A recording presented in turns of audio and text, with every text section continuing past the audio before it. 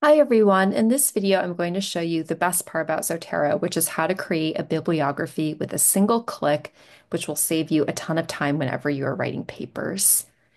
So first, I just want to point out that you can do this in either Microsoft Word or Google Docs. I'm going to start by showing you this in Google Docs. Um, when you install Zotero, this should have integrated it into Google Docs and Word for you. So you should now see a Zotero drop down in your Google Docs. So as I'm writing sentences, I can add in-text citations by going to Zotero, add edit citation. That will give me this little Zotero ribbon. And there are two different ways that you can navigate your Zotero library to add citations. And You can toggle between them by clicking on the drop down next to the Z that says Show Citation Options.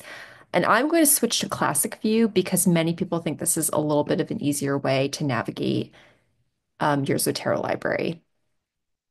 So I am going to click on multiple sources. Um, in many cases, you'll be adding more than one citation to your sentences. And this allows you to select citations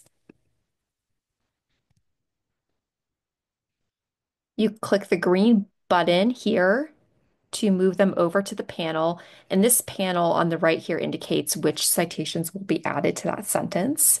So I could keep adding more. If I change my mind, I can remove one of them.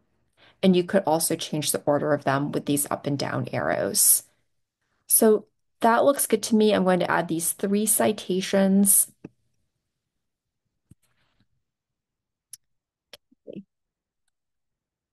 Now you're going to keep writing sentences and adding citations in this way.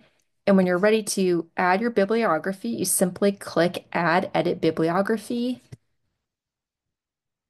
And that is going to appear with a single click. Um, so as you can imagine, this is so much faster than typing this all out by hand. One thing I do want to mention is that it's important that you take a look at the citations in your bibliography to make sure that they are complete. You might remember from a previous video, it's possible that some of the metadata um, sometimes doesn't come into Zotero when you're adding your literature.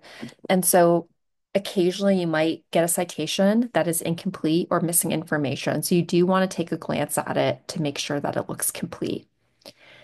Um, another really great feature of Zotero is that you can easily change the citation style. So if you write your bibliography um, and then find out that your professor actually wants a different citation style, all you have to do is go to Document Preferences, and here you can select the citation style that you would like to use. Click on that and it's going to automatically update it, both the in-text citations and your bibliography. So this is incredibly convenient. Now, I want to point out that if you're working in Word, there is a Zotero dropdown in Word, and it works exact same way. You add and edit your in-text citations here. Again, allows you to choose a citation style and um, work in that classic view. You add and edit the bibliography with this button, and you can change citation styles here. So with that, that um, is a demonstration of the basic functionality in Zotero. And I hope as you play around with this tool, you'll find that it's incredibly useful for all of your classes and will save you a lot of time while you're here at Carnegie Mellon.